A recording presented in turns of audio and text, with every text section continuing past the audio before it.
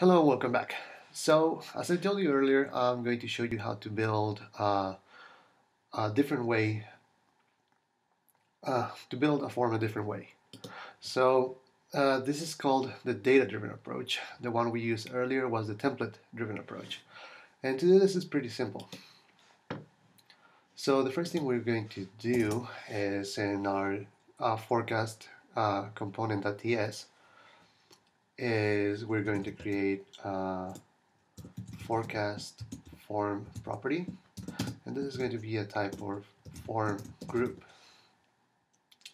Now we need to import this form group from at Angular forms. All right. Uh, and so now we're ng on init. We're going to have this forecast form is going to be equal to a new form group.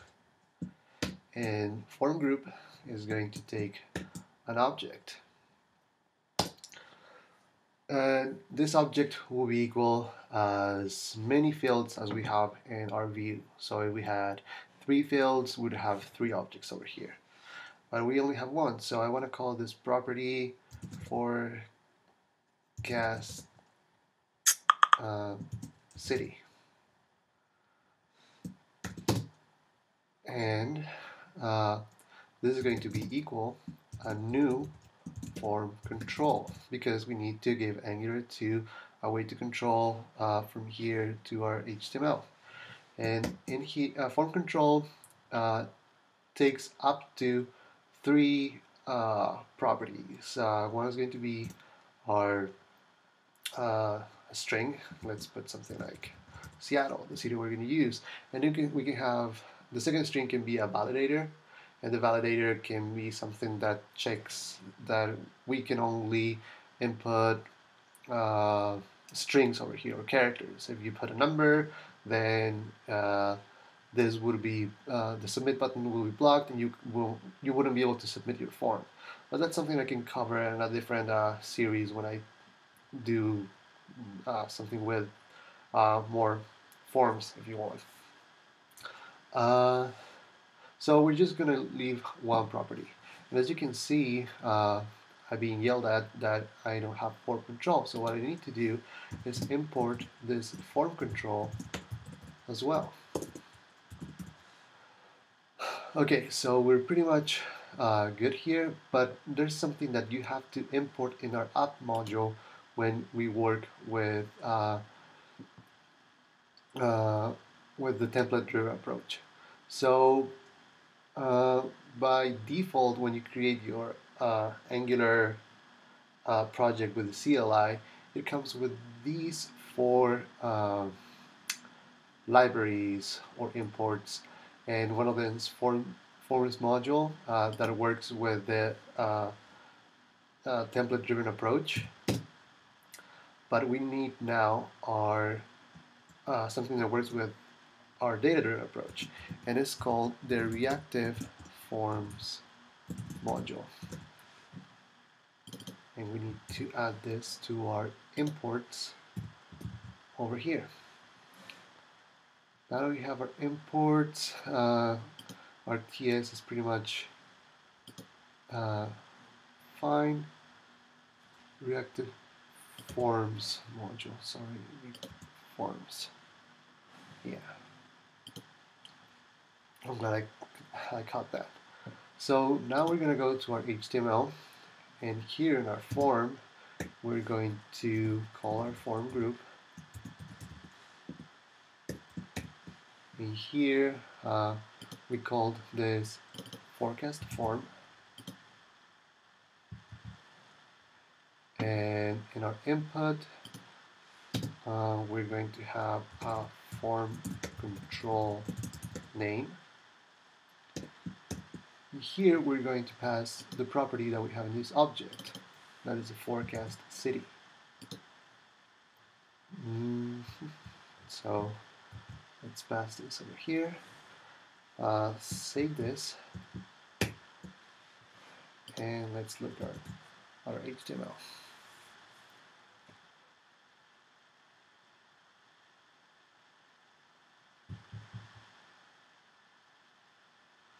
Perfect. As you can see, I have Seattle. So it's binding uh, what I have over here. But we don't want Seattle to be a default uh, city that we want to look at. So we're going to delete this and we're going to create, uh, we're going to use the ng submit directive again and we can call this again on submit or you can call this whatever you want but now uh, we don't have to pass um, we don't we don't need to pass anything from the HTML to the TypeScript. Uh, like uh, uh, you remember that we had a, a variable using the template driven approach like form and this was equal to ng form. We don't need to do this anymore. Uh, now the only thing we need to do is we're going to create that on submit function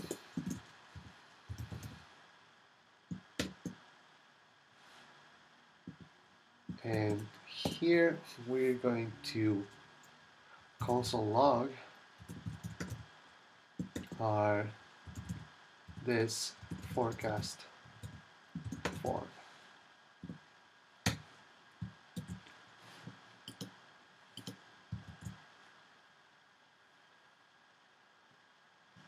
Okay, so let's open our console and let's put a city. Let's put a Cairo. What? Oh no. What oh, I didn't see this.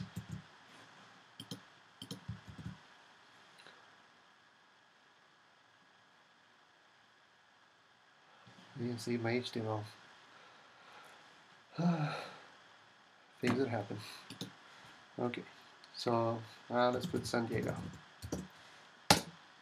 Perfect. And if you remember, I don't know if you remember, but when we uh, console logged uh, uh, our template approach, this had the name of ng form.